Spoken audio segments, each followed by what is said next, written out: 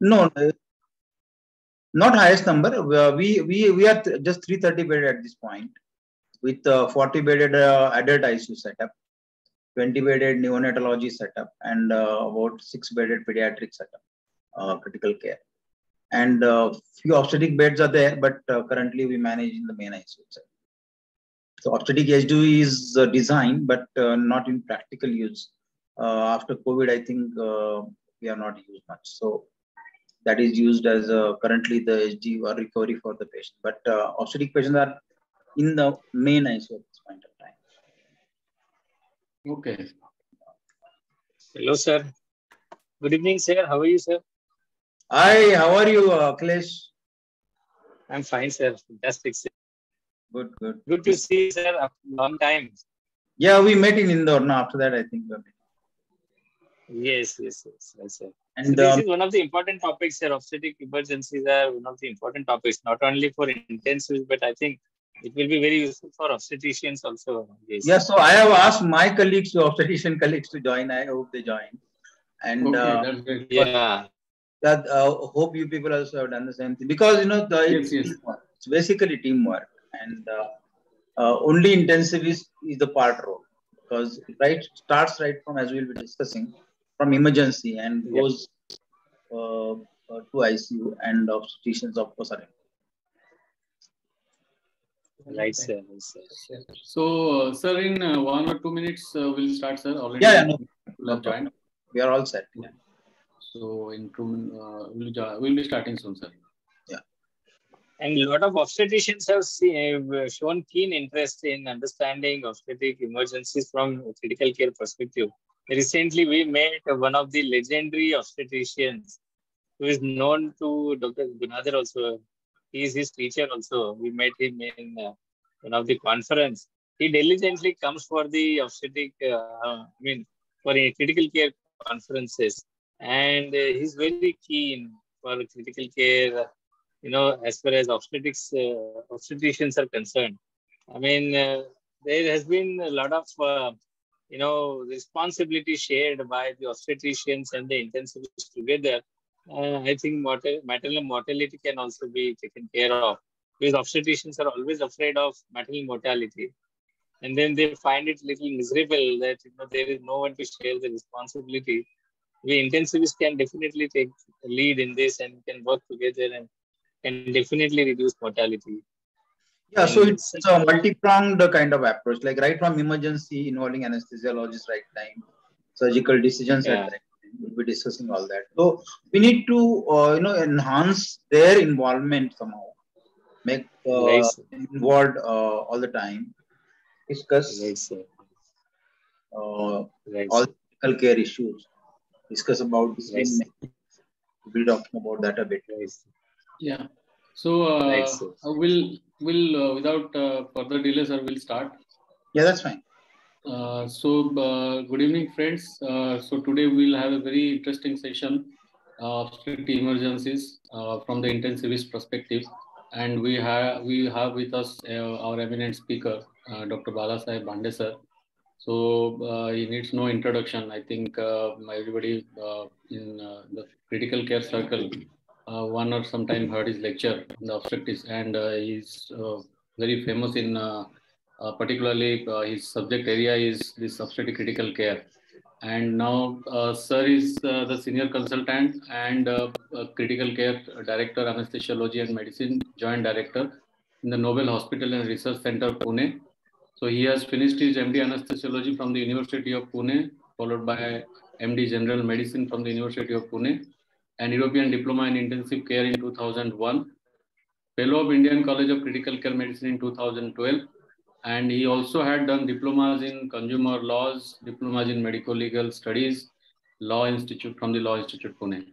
So he has a vast uh, experience in the field of critical care, uh, like uh, he's a postgraduate teacher, examiner, IDCCM teacher, inspector, I can say, and uh, uh, he's basically uh, reviewer of many journal editors, and he's also the Secretary Indian College of Critical Care Medicine from 2014 to 2016, Vice President National Indian Society of Critical Care Medicine from 2006 to 2008, He's also a member of National Governing Council of Indian Society of Anesthesiologists, ISA, from 2012 to 2015. Uh, also, uh, he's, he has delivered a lot of uh, uh, uh guest lectures and different topics like high risk anesthesia, transplant anesthesia, critical care, ethical and legal issues, which is now one of the burning topic among the intensivists and anesthesiologists at various national conferences and uh, he's also MMC accredited speaker. So with this vast experience and background, let's, let's welcome sir to our 49th episode of Apollo Mumbai Critical Care Learning Network, where we conduct our sessions every Thursday from uh, 7.30 to 8.30 p.m.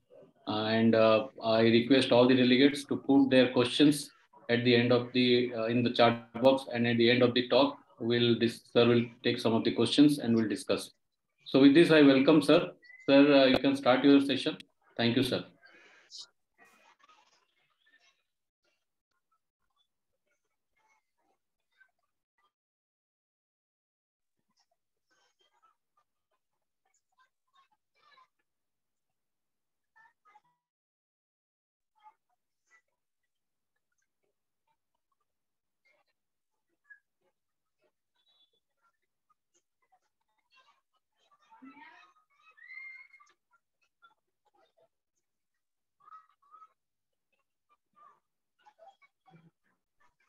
Okay, uh, it was muted. So, can you hear me now, Gunadhar? Yes, sir. Yes, sir. So, thank you very much for this opportunity, and I think uh, this is a very, very important topic and less often discussed than probably it needs to be discussed. So, I work in a 40 bedded intensive care unit, as uh, said before. So, we'll straight away go to this topic obstetric emergencies. Uh, what is intensivist perspective? So, our discussion will revolve around uh, hemorrhagic shock, eclampsia, peripartum respiratory distress, uh, peripartum cardiomyopathy, liver failure, and CPR as the time permits. So going further, uh, the postpartum hemorrhage is one of the most challenging areas in obstetrics, and uh, the blood losses which normally occur to this range. Basically, vaginal delivery normally we accept 500 ml as a blood loss, cesarean section 1000 ml, elective uh, Cesarean hysterectomy, if at all, has to be done 1500 ml. So this is also quite a big quantum. And the emergency cesarean hysterectomy done, the tune can be up to 3000 ml of loss. So that is quite a bit of a challenge. That's the usual blood losses which we've seen.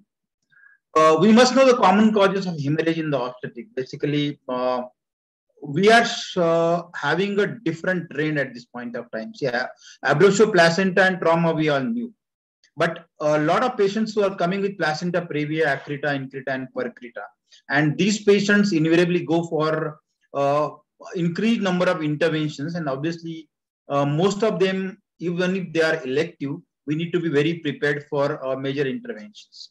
And in postpartum period, obviously uh, uterine atony leads the list, and the new addition of coagulopathies is coming because uh, there are many patients who are on some anticoagulants for some reason and there is a presence of uh, tropical diseases like uh, dengue fever or rickettsial fever which pregnant patients can catch up. And these number is also uh, on the rise. So we must change uh, note the change in the demography of these uh, obstetric uh, complications which are happening. That is placenta as well as coagulopathy related problems. And this is very well known that 4Ts as a major causes of PPH. Can you see the full screen because the upper part is getting a little bit hidden? Uh, we we are we will able to, we are able to see, sir. Okay, fine. That's fine. So, so yes, uh, uterine atony and coagulation defects, as I said, are the major causes uh, of this particular. And even in the coagulopathy related, which are on the rise, in that besides usual uh, placenta related causes and eclampsia related causes, we are having increased number of liver disease patients, especially hepatitis B and E. And uh, in rainy season, which will be forthcoming, we may see more of hepatitis E patients. A and E come in rainy season as a, uh, there is a fecal transmission, but uh, hepatitis A uh, is less common than hepatitis E, and hepatitis E can go to the level of encephalopathy and sometimes mortality also. And uh, as I said, thrombocytopenia is due to various uh, febrile, and not to forget the congenital abnormalities of the blood clotting. So we'll be having uh, cases and then we'll proceed further. That uh, is, uh, I mean, usual experience of ours. So as you can see, this is a 28 year old G1, uh, 40 weeks, was diagnosed PIH early, early in the pregnancy, was taking nifedipine. But at some point, it was diagnosed to be intrauterine fetal demise. So they tried pregnancy termination and uh, patient was referred here in a bleeding shock status after giving one unit of blood and some uh, uh, there. So on arrival in the emergency room, patient was uh, crashed, needed urgent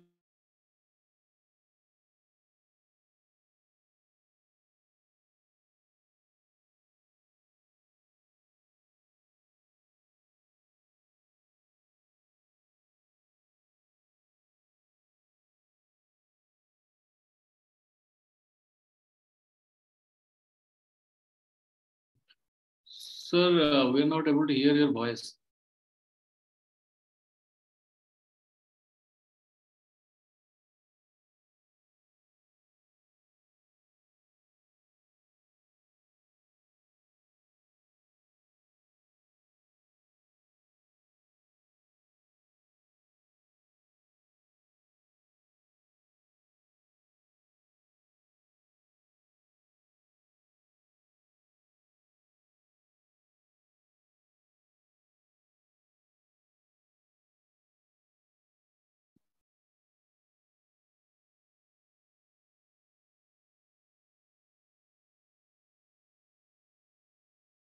So uh, sorry for the interruption. I think there is a technical glitch uh, from uh, sir's end.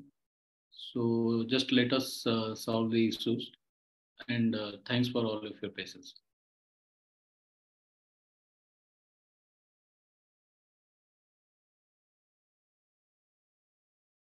Sir, I think your network is a little bit uh, issue.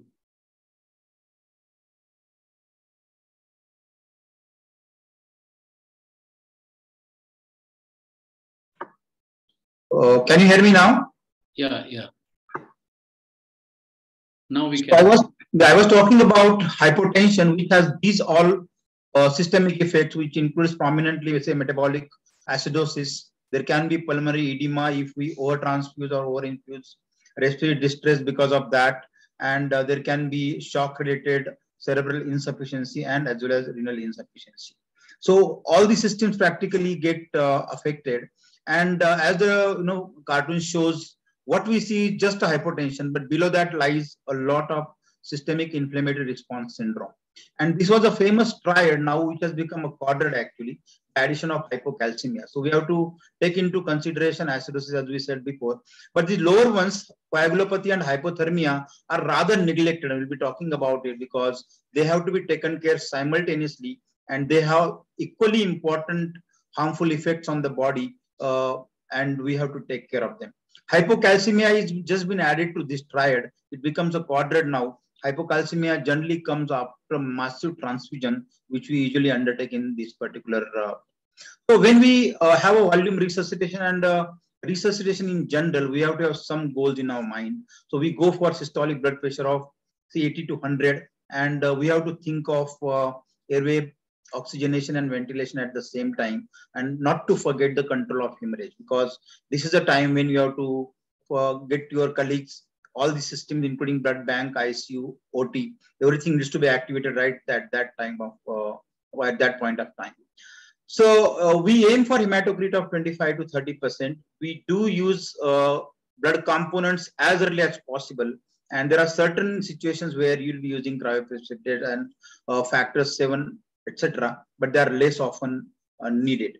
Platelet count, we aim for more than 50,000 and we try to have normalized calcium level as well. And not to forget, again, I'm emphasizing the hypothermia part of it. We have to have normal temperatures. Uh, so all these things will be considered at one time. And in that direction, we'll have our whole effort. Now, what are the efforts? We have to have large bore cannula. If there is a peripherally inserted line, big line or a CVP line, if possible, that is also done central line may be possible in emergency in many institutions okay so uh, if possible that is always done but at least two large bore cannulas done peripherally is the must because we need to give a lot of volume for this particular patient and of course vasopressors also will be needed So we need two big lines, number 18 or bigger. Uh, we must have a pressure bag because we need to give volumes rather fast and the warmed solutions. Uh, we'll look, look into uh, how they can be warmed. There are cabinets available. Uh, colloids may also be needed, but as far as possible, we start with the uh, isotonic crystalloids. Now, these isotonic crystalloids given in large volume have some problems after the large infusions like dilution of blood. There will be a decrement in the hematocrits.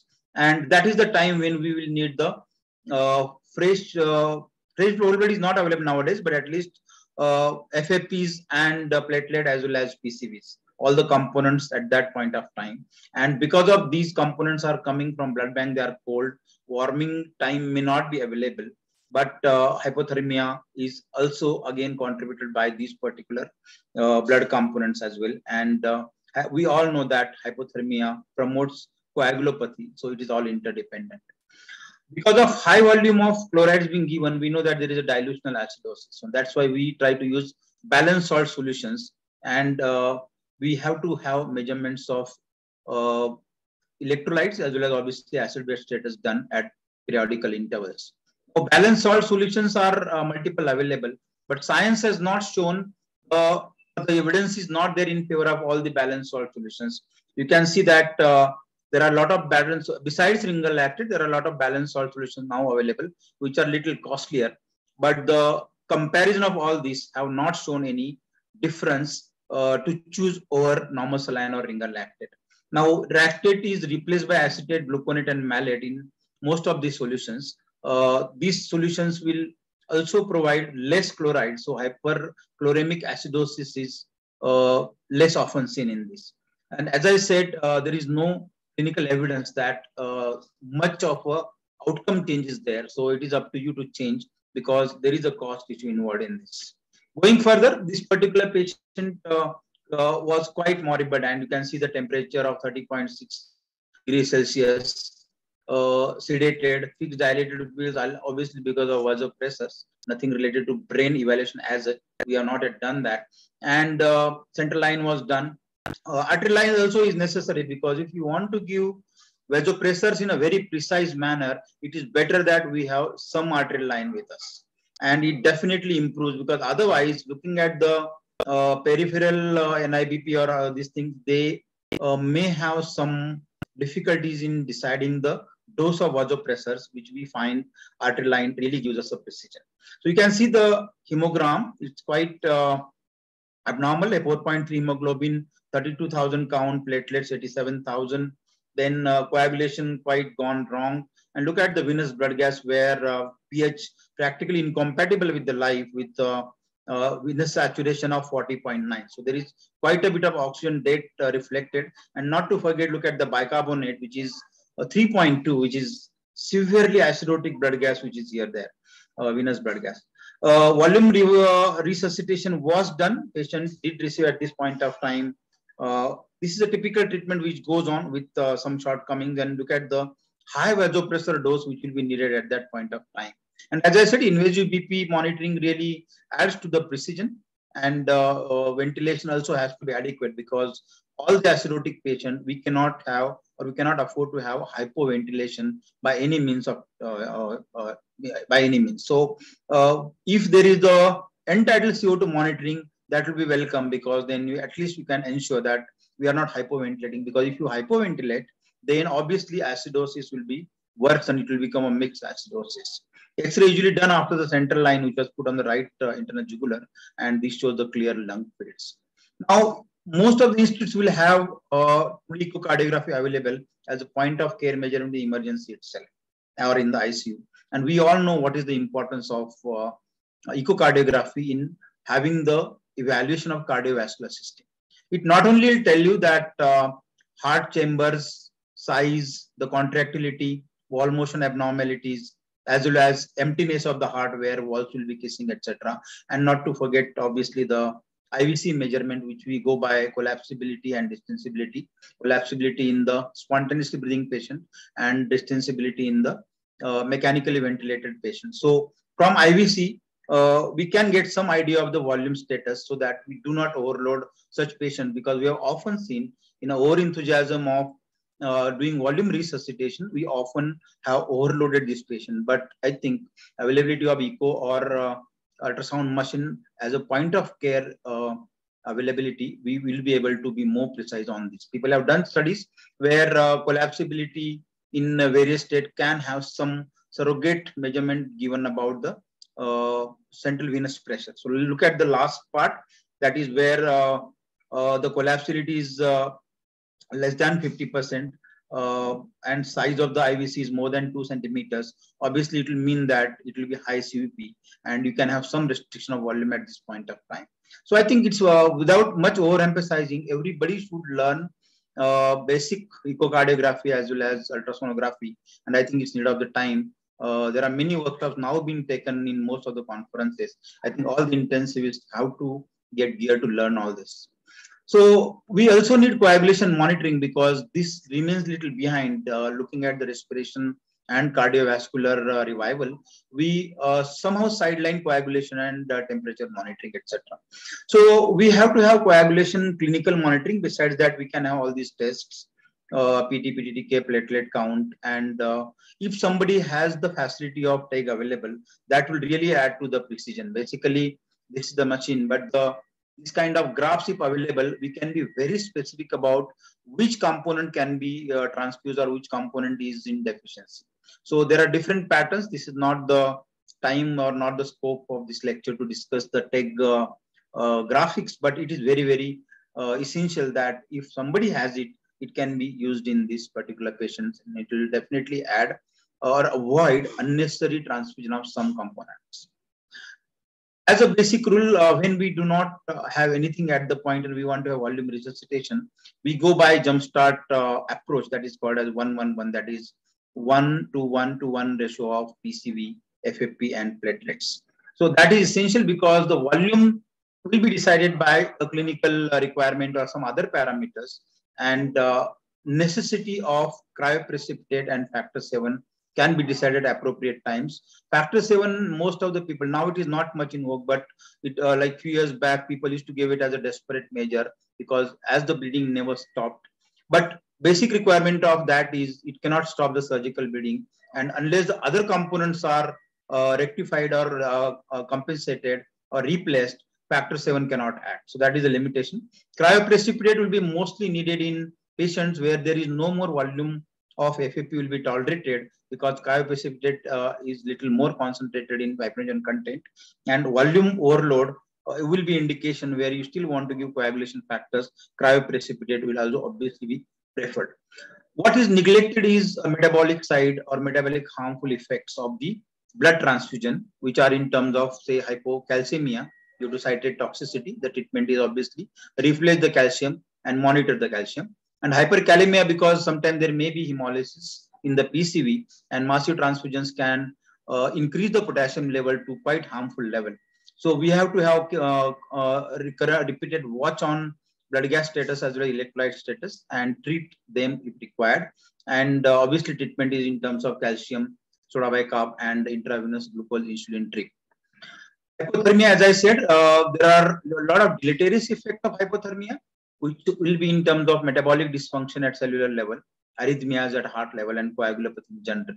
So these effects can actually contribute to morbidity and mortality. So not to forget of hypothermia these kind of cabinets are commercially available they should always be there in the icu and emergency room and ot uh, always on and uh, at any given point of time crystalloids and colloids should be available at the temperature of 39 to 40 degrees celsius which is constantly set and this machine is constantly kept on so that we have a constant supply. Besides that this can be online uh, inline warming for uh, fluids which is being infused or transfused. These are also available. Then uh, external warming blankets, which are available like this Bair Hugger as well as uh, Equator uh, from different uh, companies are available. Now these sheets, uh, there are surgical access blankets also, as you can see the hole in between. And if this patient is to be taken for surgery, then uh, in OT also, you in OT emergency and ICU at all places, these should be available simultaneously. So you cannot carry these from one place to another as far as possible. If required, of course, you can. But uh, in OT also, this is to be planned that when OT gets activated, anesthesiologists uh, have to see that this is available. Okay, so this we all mostly know. Uh, there are some blankets which are uh, put underneath the patient. So there are some such blankets which are available, uh, indigenously made and even imported ones are available. So when we look at this particular patient, we, we have competing priorities in terms of uh, taking care of so many factors which we discussed at this point of time. But at the same time, uh, PPH uh, management guidelines also are there from the World Health Organization and use of these oxytocin, prostaglandins, and tranexamic acid, which has recently been shown in 2017 the woman trial showed that tranexamic acid 1 gram given intravenously will be useful and if required it can be repeated after 30 minutes so this is the description about that. We'll not go much into detail, but just remember, tranexamic acid can help to control the bleeding in these particular patients. This is all pharmacological intensive care management. The a little bit about uh, mention about the uh, there are some surgical uh, maneuvers which will be necessary at the same time because we need to control the hemorrhage. At the same time, we cannot keep managing bleeding patient for uh, metabolic, cardiovascular, and respiratory, but we have to go for surgical management as well. So there are multiple ways it can be. As you can see, there are intrauterine uh, balloon tamponades, and there are other temporizing measures which are available, like bimanual uterine compression, vaginal pack, uh, external aortic compression. This is the typical Bakri balloon, uh, and this was studied, and this is the old report in 2012 where uh, in Europe they have studied and tried to find out is a reasonable success rate for this particular balloon to have a tamponade and uh, stop the bleeding. Now, these are additional um, maneuvers or manual measures which can be taken up uh, by our colleagues uh, from the obstetrics. Uh, we're not going to detail, but these are definitely required at the same time of uh, when we are managing, we have to think of that when they will come in and plan for this. Uh, many people have used uh, uh, internal iliac artery ligation. And there was one study from our side. These are typical B-Lynch sutures. Uh, this was from uh, KM Hospital where I was working previously, where uh, this study was done, where they did a uh, prophylactic internal iliac ligation in these particular patients, and they found it was 100% successful. That where either uh, number of hysterectomies were less, or patient had a very uh, good outcome after doing this. That is one measure which can be done. Then in uh, recent times, we have uh, uterine time, uterine artery ligation as well. People have been advising. Now, in recent times, endovascular techniques are also available. Though we are not practicing much, I'm sure where the cath lab is available, all these things will come in uh, hope because uh, it's about almost two decades now this particular uh, evidence has been created. And one of the Japanese study in the beginning showed that if you block the uterine arterial supply, uh, hemorrhage can be controlled and then you can go for further surgical interventions. So uh, this is one of the Japanese study showing the role or a successful role in that particular. Uh, these were the indications where they used it, and this the I think this is a 15 year long study, and they definitely showed that this is going to be useful. Now, besides, even if you do that, there are many arteries which supply the there are some 13 different sources where uterus can get blood supply from. So it may be very difficult despite of all measures that uh, these bleeding may not be stopped. So uh, uh, going to the patient again, in such particular patients, we need to have uh, hysterectomy as early as possible. It's a life-saving uh, surgery and we cannot wait much in case it is necessary at that point of time. The intensivist obstetrician and anesthesiologist can take a combined decision depending on the optimization level of this particular patient. Now, what is more important is uh, it's a life-saving surgery, so we need an informed consent, and informed consent has to be taken by a team. No one person can really leave it to junior and uh, take the because the relatives often are in difficulty while giving this consent, and any delay from the relative side can prove very very fatal. So somebody senior has to go and take this particular consent. Obviously, by the time uh, we take our consent, etc., our systemic optimization obviously will be continued. This particular patient received correction of acidosis. pH had come up a bit, and uh, high dose vasopressor were needed. And as I said, warming in terms of warm infusions as well as external warming was continued. we need a very bold decision making uh, from the obstetrician side. Basically, if somebody we have seen people a little bit of hesitant to do surgery because patient's outcome, especially if imagine negative, there is little hesitancy, but I think it will be uh, uh, actually not in favor of patient. We have to somehow take consent and go for this life-saving surgery. And from anesthetic side, there is no question of any fitness. Patient is absolutely unfit for any kind of anesthesia here. We'll see the slide of anesthesia also. But I think as much possible optimization will be necessary and uh, that, that should be done. So uh, shifting the patient from either emergency room or from ICU to OT itself is a challenge and it's often left junior. And I will try to emphasize here that somebody senior has to accompany the patient because patient is really bad. This particular, this case is a little old, so that time pancreatom was used. And basically during transport also, we need a transport ventilation because ventilation has to be ensured as we are doing it in ER or ICU or in the OT. So during transport, which may be a time of 5, 10, 15 minutes, depending on the logistics, we have to take care of appropriate ventilation uh, so that uh, there is no problem in that. And of course, if the infusions are going on, we need battery operated syringe pumps. That is very essential because we cannot discontinue other pressors at this point of time. And we need monitors which can be showing us all the possible parameters. Preparation of operation theater, uh, warming available in the operation theater. As I said before, I'm just re-emphasizing that in OT, we have to continue. We do not know how much time we will be spending in OT, mostly from 45 minutes to two hours, depending on uh, surgical interventions, which will be necessity and necessary, and the uh, optimization or complications which can happen in the operation theater. Now, cell salvage has been used by many people because there is always a shortage of components, etc. But this will be available in a very few places and can be considered where it is available. As I said, anesthesia is a challenge in these patients, and mostly cardiostable drugs will be given. This was the time of pentazocine when I used uh, this particular case was done. So ketamine, pentazocine, and uh, uh, obviously local infiltration also can be contributed. Uh, uterus was found to be uh, flabby and bleach discoloration was there. So bilateral internal iliac ligation was done uh, hysterectomy was uh, needed for this particular patient. Uh, there was no, despite of coagulation abnormality, clinical bleeding was not observed. So that is one good sign that you can always have some uh, solace from avoiding any over transfusion of components. Uh, patient did receive uh, so, many, so many components there basically and the moment uh, the hysterectomy was you can see that discoloration hysterectomy was the moment uh, uterine, uh, I mean, hysterectomy was done, BP started shooting. So probably some chemo mediator release from the uterus was responsible for the shock status and we had to rapidly decrease the uh, pressure requirement because BP was shooting.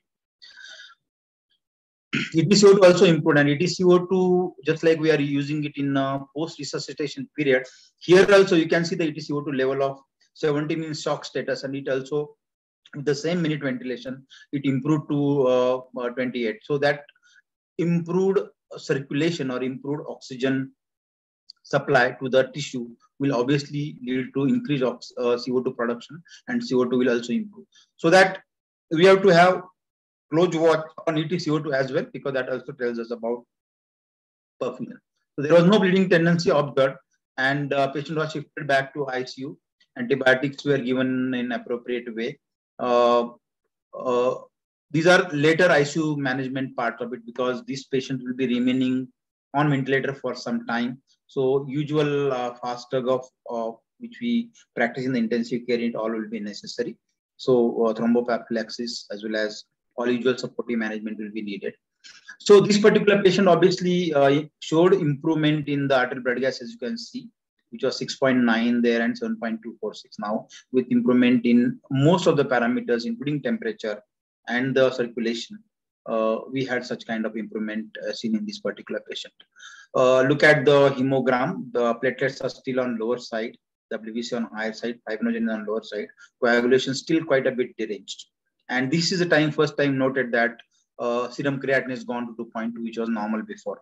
So uh, this this was expected in this will be expected in most of the patients who are into shock, and as you can see, there is a uh, uh, uh oliguria as well. And uh, despite our attempts, we often land up in having uh, overtransfusion. So probably this particular patient has pulmonary congestion as well, and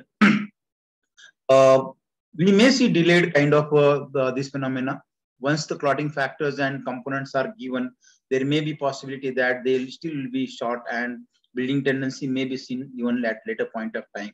So we have to keep watch on uh, this particular. So bleeding tendency obviously will be evaluated by coagulation parameter study and appropriately corrected, of course. And uh, the renal shutdown, which occurred in this particular patient, obviously needed hemodialysis and uh, some blood products obviously were given. So this is the total picture of blood product. In any classical case of this kind, will uh, have this kind of a, a requirement of uh, blood products, and this is the hemogram for this particular patient over time. So massive blood component requirement can be there in this particular patient, and uh, eventually this particular patient uh, needed renal replacement therapy and ultimately survived. So it, sometimes it can be we think uh, it's miraculous because in the beginning we never thought this patient will survive. But i think teamwork appropriate decisions and the very aggressive kind of intensive care management will be needed in this particular patient looking at all the aspects which we so far we talked. Uh, so obstetric hemorrhage uh, still remains a challenge. As i said aggressive treatment will be needed. A jumpstart approach for blood component transfusion not to forget the hypothermia and the problem during the transfer as well as talking to the obstetricians to have all the surgical measures in place and of course multi-organ failure which has set in later uh, may also have uh, to be looked into as a part of intensive care management subsequently. So that is all about the PPH. We'll go to the second part uh, in short with a severe PIH patient. This is typical case which was uh, uh, seen with blood pressure of 170 by 120. It's a full-term patient uh, with symptoms of headache and increasing swelling over the, the patient. Of course, had proteinuria as well, and the diagnosis was confirmed. A PI diagnosis needs to be confirmed by ruling out chronic hypertension, which may patient may have, gestational part of hypertension, as well as some other cause. But mostly a proteinuria and high blood pressure with pregnancy should make uh, you sure this is the pregnancy-induced hypertension. And uh, uh, our aim obviously is to confirm the diagnosis, to control the, control the blood pressure, and of course to prevent the convulsions and uh, to have some decision about the delivery in this particular patient. So uh, mostly these patients will present with this kind of a high BP. And our attempt is to uh, decrease the blood pressure, but not very rapidly. And uh, initial uh, plan should be only to have 20% uh, decrement in the systolic blood pressure when it was what what the value or the level was. And further decrement or rapid decrement in blood pressure may precipitate into fetal distress. We don't want that to happen. And so we don't have to try or attempt the normalization of BP right very rapidly there. So goals will be to maintain diastolic between 90 to 105 and not go below 90 as far as possible. Patients, uh, this is just a slide showing what other drugs patient may be already on. The first line treatment is by these drugs. Second line are these. These uh, ARBs and uh, are contraindicated and parenteral agents which we'll now be using in these particular patients are in terms of labetalol, hydralazine, and uh, magnesium sulfate. Sometimes nitroglycerin and sodium nitroprusside may also be necessary. But acute medical therapy is usually by these two drugs, labetalol, and the usual dose of labetalol necessary in this particular patient is 20 milligram IV. Uh, now, th this has to be looked into carefully because this is very important. 20 milligram of uh, labetalol given over uh, at least one minute slowly. Look at the pulse and BP both. You can repeat double the dose uh, in increments every 15 minutes or 30 minutes as required and uh, looking at the hemodynamics of desired kind. If required, obviously we'll need the infusion. You can have uh, infusion prepared and uh, your rate will be approximately uh, about 10 to 20 milligram uh, per hour generally. You have to titrate it. And if required, you can increase the infusion rate. And target obviously is to maintain diastolic above 90, between 90 and 100. Another agent is hydralazine, which is also now available. uh, the doses are about one fourth of labetalol, just to compare, and uh, it's available as one milligram per ml. Five milligram given slowly over 15 minutes initial dose. Check the hemodynamics. Uh, again, aim is to uh, maintain between 90 and 100, and uh, you can repeat the additional bolus doses given IV slowly. 5 milligram per hour is usual rate required. You can titrate downwards and uh, you can have the uh, appropriate control of blood pressure. So these are the two drugs which we commonly use. Most of the people are using labetalol as a first choice. Now, prevention of seizures is very, very important. And uh, this high blood pressure with BP control, we also have to think about seizure prophylaxis.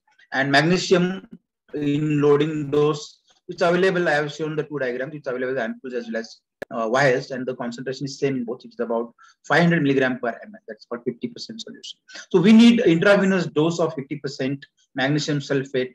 You can dilute it and give 4 gram intravenously over 20 minutes at the first bolus slowly, and subsequently start IV infusion of 1 gram per hour.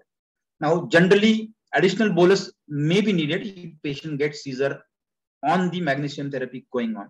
So 2 grams intravenously over 5 minutes can be given as an additional dose and sometimes additional dose of infusion may also be needed. But most important is to uh, prevent magnesium toxicity. You can have a clinical uh, orientation to see that there is no bradycardia, hypotension, there is no altered mentation because in this patient obviously mentation may be fluctuating but you can have the trend of mentation being monitored continuously but best is to have deep tendon reflexes being monitored and that uh, can give you some idea. And besides that you can always have a magnesium levels tested but that uh, clinical monitoring can tell you when it will be necessary. And these are the normal uh, levels and the therapeutic levels and the toxic levels which we have to monitor if required. Now if there is a possibility of magnesium toxicity you have to stop it give iv calcium and look at the other harmful effects due to or toxic effects of the magnesium, which may be in terms of uh, depressed respiration, altered mentation, as well as uh, hypotension, bradycardia. In case uh, you have to use alternate anticonvulsant, we have all these three choices available with us. Midazolam, these are the doses generally given uh, in the first uh, setting. And uh, these three drugs are midazolam, lorazepam, and phenytoin available. Phenytoin, you have to take care that if you're loading phenytoin with 500 to 1000 milligram intravenously, it has to be over 30 minutes because there can be a uh, tachyarrhythmias or ventricular tachycardia, which is quite resistant for any treatment. So phenytoin cannot be given as a fast bolus. So just to keep that in mind. Now, regarding the patient's decision going for uh, uh, uh, delivery, because that's one definite treatment where all these things can be prevented and delivery has to be planned. Optimize the patient, look at other morbidities which may be there if help is around, then we have to look at coagulation, we have to look at the other uh, systemic evaluation in terms of RFTs and LFTs as well. Uh, basically, for this patient, regional is encouraged because it has a good analgesia property. precipitous hypotension, which was discussed previously, is not a reality. Basically, it is well maintained because there is a high catecholamine level in the body and uh, vascular tone is reasonably maintained. Even if you block at spinal level, uh, sympathetic blockade does not affect much circulation. There will be some hypotension, but uh, circulating catecholamine surge maintains uh, the blood pressure reasonably well.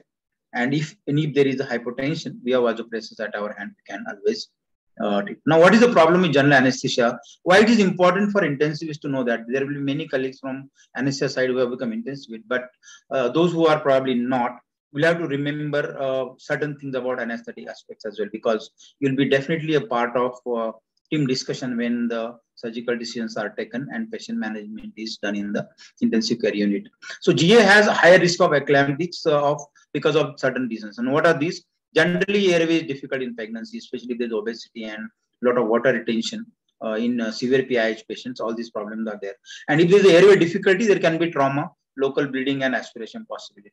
And main cause of problem, main uh, challenge in this patient is with laryngoscopy, you will have systolic hypertensive response to laryngoscopy, and BP going 200 plus can have a possibility of IC bleed. So these episodes can be killer for the patient. So that's why GA will be less preferred.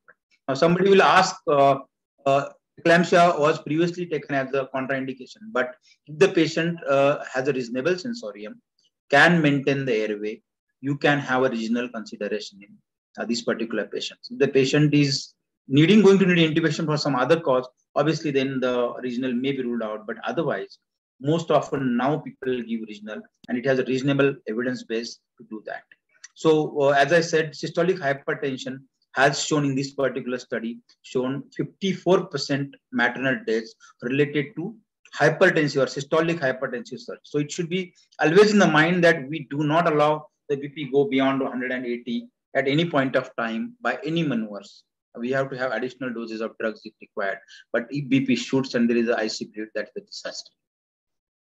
Most often these patients uh, will receive the fluids are usually restricted and the peripheral vasoconstriction in all pregnancy-induced hypertension patients uh, uh, invites for restriction of fluids in these particular patients. But still some patients uh, perioperatively may show this challenge that they have been transfused or infused more volume and there can be pulmonary edema.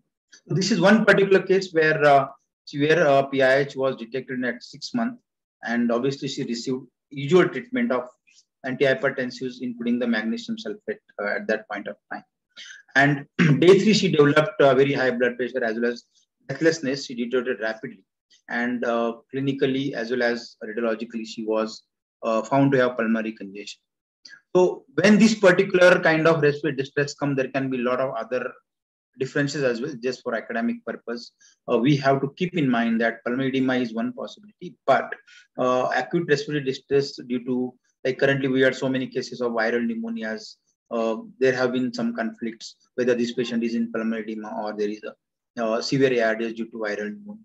There is something called as tocolytic induced because once you stop the tocolytes in pregnant patient at some point of time, in 24 hours of time, the vasodilator effect, uh, which is a side effect actually of tocolytes, because when uterus is relaxed, there are blood vessels also get relaxed. And when you withdraw tocolytics, there is a vasoconstriction added and that shifts the volume from the systemic circulation to pulmonary circulation. And that is typically called as tocolytic uh, induced pulmonary edema. This is one possibility we have to keep in mind. Treatment doesn't change much.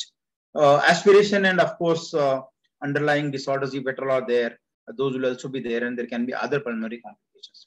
In cardiovascular uh, there is something called as peripartum cardiomyopathy which may not have been diagnosed before. And we have had surprises in the icu and on table as well sometimes that uh. And once 2D echo machines are available now, we can always have this diagnosis right away there. And uh, there can be uh, pre-existing uh, valvular disease, which of which quantum is now less. We don't see too many valvular diseases what we used to see about 20 years back. And of course, embolic disorders where venous thromboembolism is on the rise. And we have to be very, very careful in all these patients. The uh, especially in COVID and post-COVID period, we have seen so many thromboembolic uh, events, including uh, pulmonary embolism as well as cerebral sinus thrombosis, etc.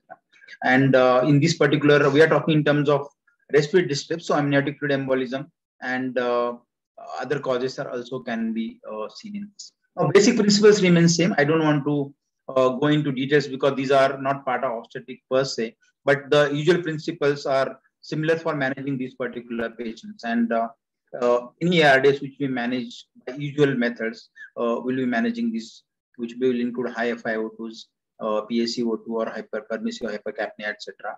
And uh, we have to be careful that uh, we don't uh, allow too much of hypercapnia because there can be deleterious for the uh, fetus. So we have to be very, very careful about it. usual drugs will be used and most of the drugs will be compatible with this situation. And uh, we also need a fetal monitoring in between in case delivery has not been done. Now, this particular patient was uh, shifted to ICU. Labetalol was needed as we discussed. Urgent uh, cesarean section uh, decision was taken. And uh, um, this particular ventilation need requirement is always there and we do it with all possible precautions uh, necessary. these are the intra details. Actually, the cesarean section obviously was done and uh, twin pregnancy was there. So both babies needed intubation. That also has to be, uh, readiness has to be there to revive the babies at that particular uh, point of time. So you often you will need to continue the labetalol infusion in these patients, even intraoperative period. And eventually, once uh, delivery takes place, often the requirement of all the antihypertensives comes down. Uh, patient did show some pulmonary congestion but improved with usual treatment. Very rarely will be needed the fetal delivery to improve this particular because there is this little controversial area where fetal delivery is done for maternal cause. Often that is not the indication. Literature doesn't support it because if we can manage, and occasionally there may be indication that fetal delivery will be needed for maternal improvement, which can be done by discussion with this. This case is obviously of uh, a full-term case with uh, coming with breathlessness and uh, on echocardiography, it was found that patient has decreased left ventricular ejection fraction, and uh, this was diagnosed to be a cardiomyopathy case. Now we'll obviously have a usual treatment going on in terms of diuretics, vasodilators, and the oxygen support if required. Uh, people have controversies about this. Many people go for cesarean section, which has more uh, problems as compared to vaginal delivery, which both will be having enough space on the heart. And uh, epidural analgesia is often advised in these particular patients where it is possible that uh, you can do the delivery. We had such two cases long back in KEM when I was there. And uh, we managed both these cases, uh, giving epidurals and uh, having vaginal deliveries done in the intensive care unit itself. So the treatment is on the usual lines. You may need uh, digoxin, diuretics, and oxygen support if required sometimes, non-invasive ventilation support. So going, going further, I think uh, uh, we are uh, sort of time. this is a case where there was desaturation when she presented. Uh, cesarean section was done for probably the indication was PIH, and then of course bilateral shadows were seen in this particular patient. And this was found to be probably uh, that particular time, I think H1N1 time was there. So this was uh, diagnosed as ARDS and uh, patient obviously pregnant patients even then and in the COVID also showed H1N1 was quite fatal in pregnancy. That time we had a lot of mortalities uh, in H1N1, but in COVID I think uh, it was relatively less. But we did have a lot of uh, morbidities and mortalities in COVID times as well. One more uh, critical problem with us is sometimes, though less often, is amniotic fluid embolism. And amniotic fluid embolism uh, is a is obviously a diagnosis of exclusion. If you can exclude pulmonary edema, if you can exclude uh, uh, all other causes which we described before, then we can think of this. But it is a more complex problem in the intensive care unit than other things because it has a multi-system involvement. A lot of problems with coagulation because there will be a cardiovascular collapse as well as coagulation abnormality. And there is no specific treatment. All treatments are so similar, uh, I mean, supportive. And uh, people have uh, used uh, up to ECMO everything to overcome this particular problem. So, in absence of any specific treatment, we have to have supportive treatment. And I think most of the systems will need support besides cardiovascular. Uh, patient may have seizures, patient may have a uh, coagulation abnormality, and of course, fetal distress. Now, pregnancy with jaundice, just uh, a few, one or two minutes, few minutes on this. Now, what is common cause of jaundice in pregnancy? And as I said, hepatitis E epidemic is there with us, and in rainy season, we'll often see these cases.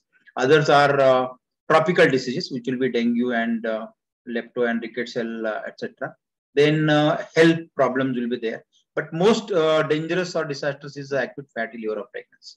Now, there will be different uh, parameter specifications for this, but uh, in that acute hepatitis, by any chance uh, diagnosed, the enzyme levels will be in thousands, and uh, prognosis will depend on what kind of uh, hepatitis it is. Some have treatment, some do not have treatment. We have to go by supportive management.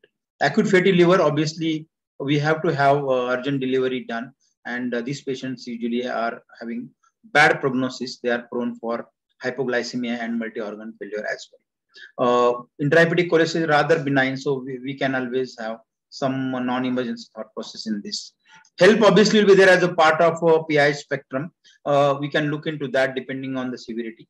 And of course, tropical disease. This has actually uh, posed a lot of challenge because a lot of dengue patients coming for uh, uh, cesarean sections we have seen and coming in the ICUs. Now, these particular patients, uh, including rickettsial and sometimes lepto, uh, but dengues have been more common in current times and uh, they have posed really difficult challenge because we have to optimize uh, not only coagulation but there will be a metabolic uh, derangement due to renal as well as hepatic uh, problem. So in acute any acute liver failure these will be the problems. Encephalopathy uh, cerebral edema coagulopathy hypoglycemia hypocalcemia renal failure infection and respiratory failure. All these will be remedies for that and i think they are very common part of our intensive care management and uh, they can be looked into a specific manner. Very rarely patients may be referred for liver transplant in current times because that is one of the options available. In a fulminant hepatic failure, even pregnant patients have undergone uh, liver transplants. so in these patients, the issues obviously come when to deliver, how to deliver, encephalopathy, and obviously there is a big possibility of bleeding in these particular patients. So optimization uh, will be needed. It will be a teamwork again. And anytime you take a decision of delivery, uh, we have to have optimization continuously being done before we go for this. As I said, acute fatty liver is, though it is rare, often seen in third trimester, it usually has a rapid deterioration course with a multi-system dysfunction. The treatment obviously lies to have prompt delivery and uh, rapid component uh, transfusion if at all necessary will be needed. And there is a quite a big possibility of fetal demise as well. So that has to be diagnosed quickly, looked into with systemic problems as much possible, and have a delivery. Uh, in case there is a encephalopathy, obviously the causes of encephalopathy, altered sensorium with pregnancy, there can be multiple differences. This is another problem because we often will find that patient has no PIH history, but uh, patient is having encephalopathy. So there can be multiple problems. If patient is hypertensive, obviously eclampsia and IC bleed are the differentials. And there can be other systemic problems by which patient can be uh, in encephalopathy, which will include metabolic, hepatic, hypoxic. Not to forget cerebral venous thrombosis, as I said, uh, thrombotic events are on the rise. And uh, there can be other causes which may not be related to pregnancy. So all that has to be kept into mind and evaluated accordingly. Uh, last two points about uh, resuscitation in pregnancy, which is always a challenge. Uh, we obviously have the usual protocols uh, followed for uh, CAB. Defibrillation is must, drugs are also needed. And obviously, there is something called as a uh, perimortem emergency cesarean section.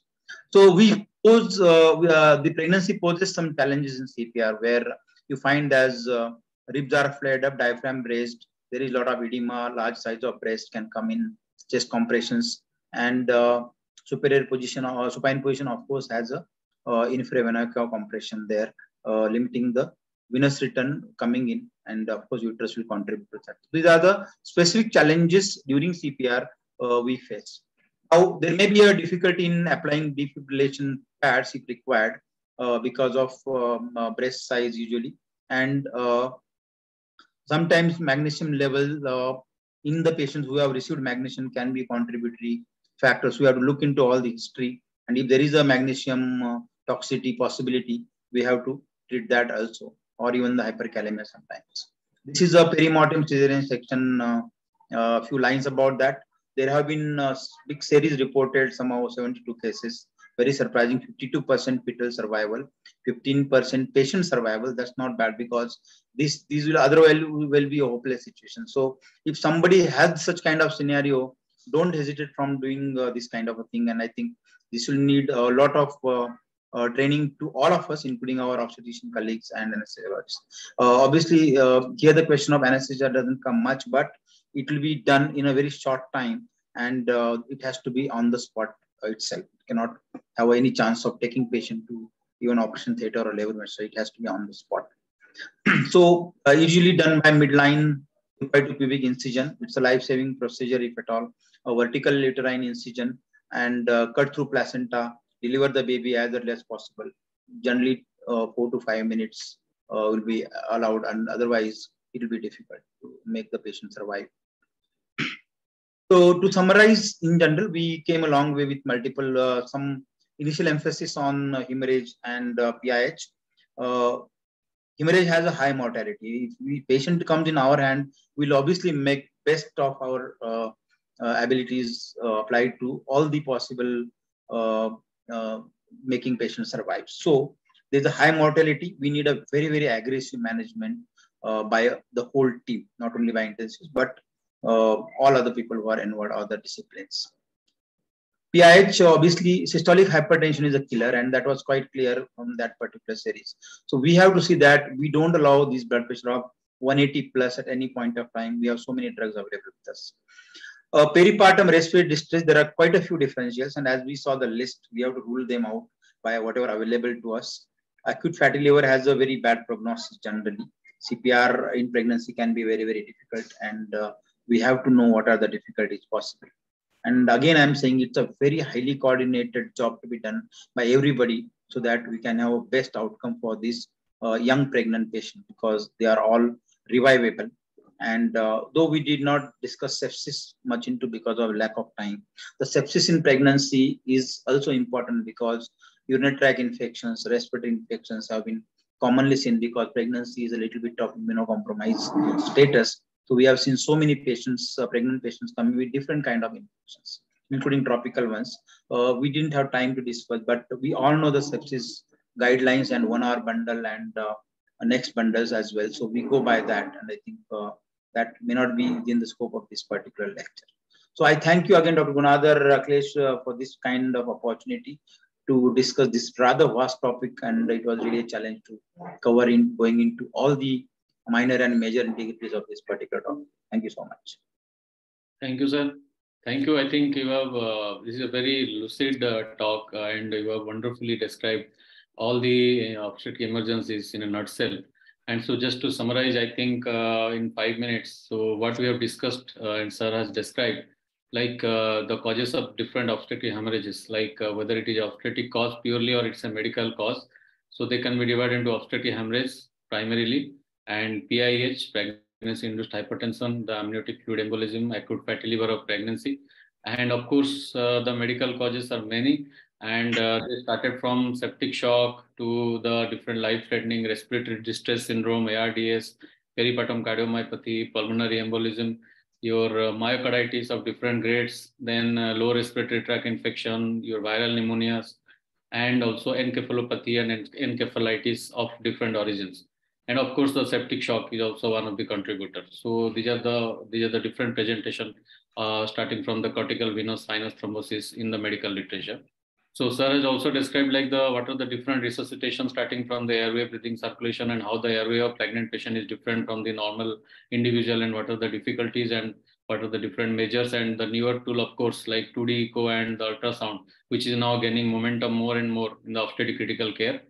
The monitoring and the newer gadgets to monitor the uh, different bleeding parameters like the thromboelastography and newer therapies of hemorrhagic control like uh, factor 7 and prothrombin complex concentrate, the tranexamic acids, the different medical and surgical interventions to control the hemorrhage, of course, like from the interventional procedures uh, like uh, uterine artery embolization to be your uh, B-Lynch suture application to balloon tamponade to, of course, the internal iliac ligation and uh, the hysterectomy, the last resource to control the desperate measure to control the hemorrhage. And the medical problems associated with like hypocalcemia, hypothermia, and what are the different anesthesia challenges.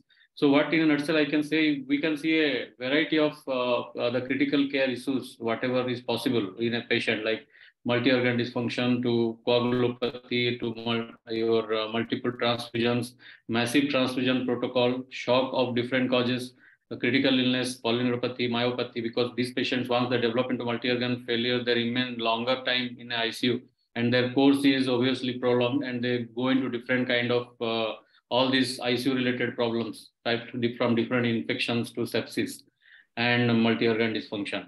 And the PIH management, sir has beautifully described, like the BP control and the uh, the, the seizure control uh, protocols like magnesium sulfate protocol and BP control with labetalol, hydralazine, and the anesthesia management for such patients, the GA particularly, which is very high risk nowadays. And of course, the last slide, which is very important, like the different cardiac arrest algorithm which is totally different and one has to be absolutely take care of supine hypotensive syndrome and perimortem uh, cesarean section. So uh, with this, the broad uh, background are beautifully covered in a nutshell, uh, uh, all the aspects. And I will invite the questions one by one. So uh, I request to put all the questions in the chat box. One question I can see here is yeah. what percentage of blood loss should be replaced by crystalloids? when patient comes and uh, in a variable state of uh, bleeding which already occurred uh, we may need immediate blood components which may not be immediately available because it takes about 40 minutes for cross matching and till then we have uh, crystalloids mostly given in the beginning but uh, starches are generally discouraged though in this particular case we did uh, see that starch was given colloids obviously in terms of gelatin based colloids will be preferred as compared to uh, starch-based colloids. But first, volume resuscitation is as much possible is by balanced salt and even normal saline. And what percentage of blood loss should be replaced by crystalloids? Obviously, we monitor hematocrit, which is the acceptable level, and blood loss is not going to be continued. Then obviously, uh, usual crystalloids should be needed. Blood components only will come after that beyond a particular. Yeah. So one more point that I would like to add, like you know, pregnant patients have a different physiological state, and they are uh, in a hypervolemic state at times. You know, unless there is a substantial amount of blood loss, these patients may not pose any challenges or, I mean, they may not present as a shock.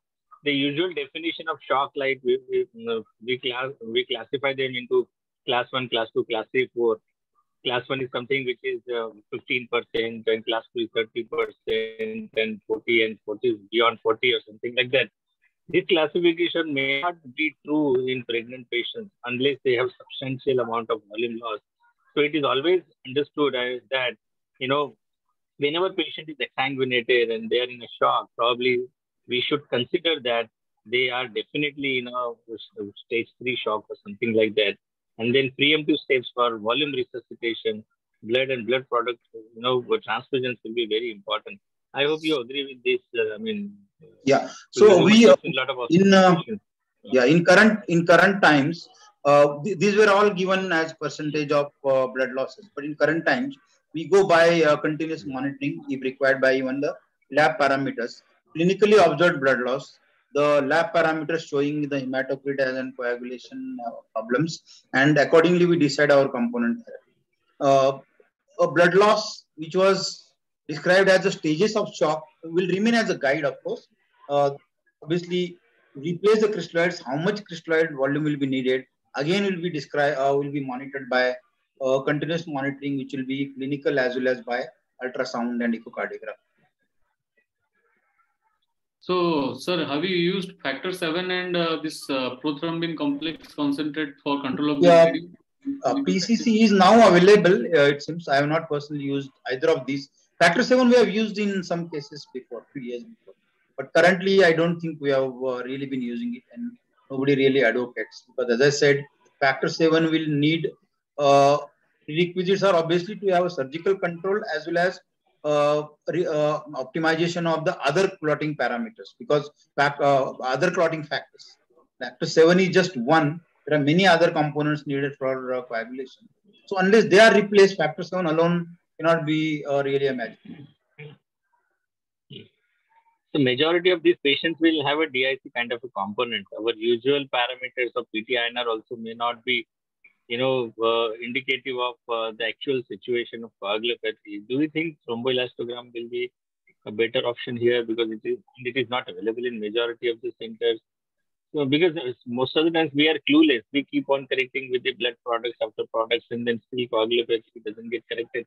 Of course, there are other factors, hypothermia, acidosis, which is a lethal triad, which can also contribute to coagulopathy. But we we don't get uh, uh, you know actual idea about coagulopathy. Do you think thromboelastogram also would be recommended in this situation? But I have seen uh, thromboelastogram, of course, will help. And as I said, uh, we could not elaborate much on that. The pattern which is seen in the thromboelastogram can guide you which component is deficient and needs to be replaced. I have seen some uh, uh colleagues being uh, giving prophylactic uh, FFPs, etc. I don't think there is any role for prophylactic FFPs as such. You can always have them as a standby in the blood bank, but giving them before uh, really is not evidence based. But some people are practicing that. So thromboelastogram actually has really changed some of the practices, like sir rightly told. So you can uh, find one can find the pattern of the coagulation dysfunction, whether to transfuse platelet or FFP or coagulation factors like cryoprecipitate or fibrinogen. So those areas actually uh, get from the thromboelastography. And whenever the acute ongoing hemorrhage, so most of the bleeding uh, test is mostly unreliable. And in those situations, the dynamic viscoelastic properties, which is basically the take take into consideration or ROTEM. So these are the two important aspects which can help for the to intensivist to transfuse like whether to transfuse the fibrinogen. Of course, in any bleeding patient, the fibrinogen is the first uh, component what we replace, and uh, followed by the whether it is a platelet dysfunction or it is a like the coagulation disorder. So in that way, actually, so targeted transfusions can be advocated. So targeted transfusions can be advocated, you know, uh, and unnecessary transfusions can also be avoided, like blood and blood products or several other products are given unnecessarily because you know transfusion associated lung injury or other complications related to transfusion are also very, very common. when we have a massive transfusion for obstetric patients. So I think uh, these uh, gadgets can definitely help us. So, uh, sir, as far as the medical legal implications are concerned, you know, obstetricians are also trapped in uh, uh, many you know situations where they have to face maternal mortality brunt. We know that you know they have 42 days of norm till the time they have the responsibility, and then how do these challenges can be taken over? You know, if you want to avoid, uh, you know, falling prey for all situations. Uh, because you are a lawyer also, and uh, will you be able to guide the obstetrician intensivist uh, so, I, so I, that they can be very, very cautious? So, as far as legal aspect of this is concerned, we we just have to be very, very clear, transparent, and evidence based in our approach. And as I said, we have to be aggressive on our side. We have to save the patient the problems only come, as I said, uh, mentioned between.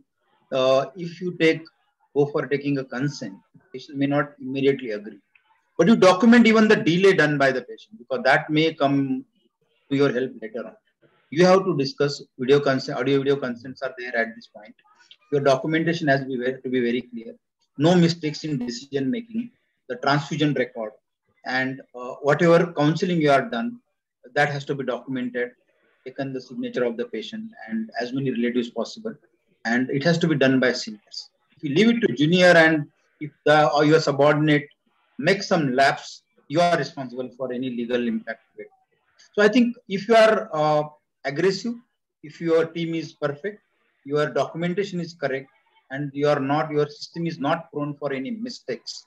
Uh, I think legal problem, even if it comes, you'll be able to surely defend because we have done all the possible attempts to save the patient in that given emergency. Yeah, absolutely. So ownership with multidisciplinary approach probably will help us. Everybody has to take the ownership. Everybody has to take the ownership. Yeah.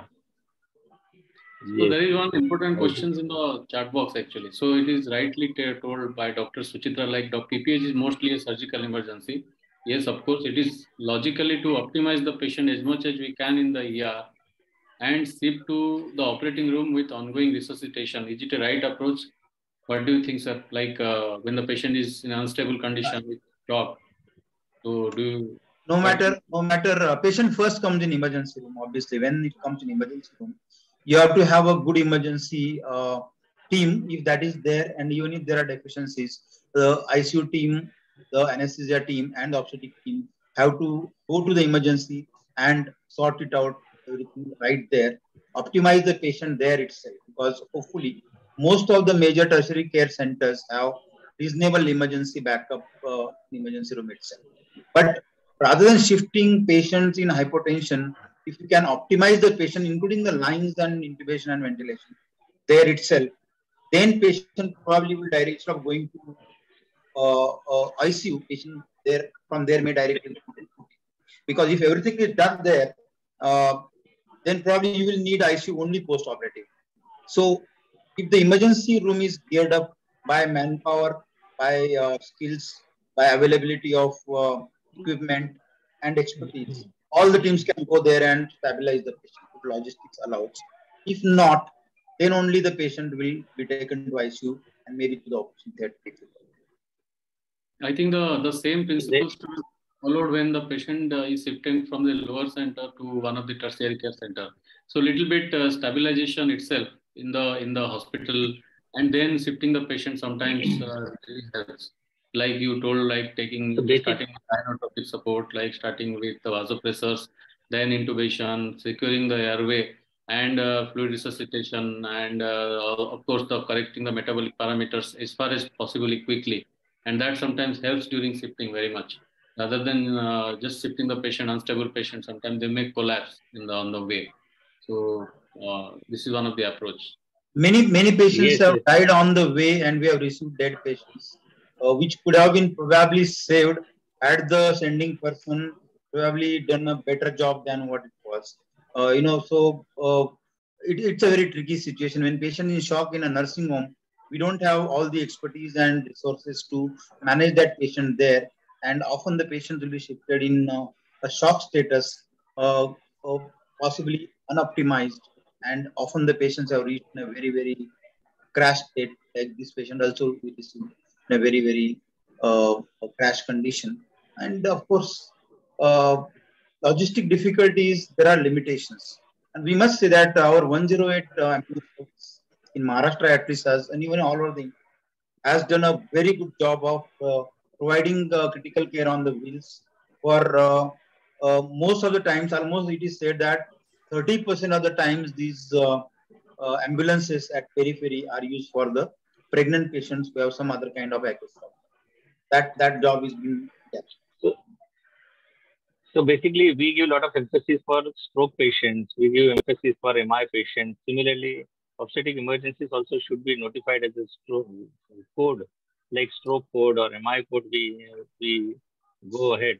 I mean, similarly, such code can be activated and all the team members can come together and start resuscitating and surgical, you know, or intervention or hemodynamic resuscitation is required and all that. I think a coordinated and close communication uh, will definitely help.